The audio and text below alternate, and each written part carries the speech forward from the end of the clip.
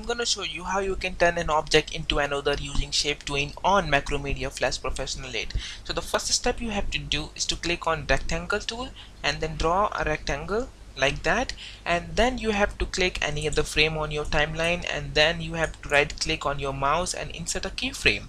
Then you have to select the selection tool and click on the object. If it if object is not already selected then you have to press delete button on your keyboard. And the next step is you have to draw an another object uh, like this oval. So I have to draw this oval right here. So the next step you have to click at the middle part or between the both of your keyframe. Then you have to hit this little triangle at the bottom. And then from the tween you have to hit the shape tween then you have to again hit this triangle to go all back.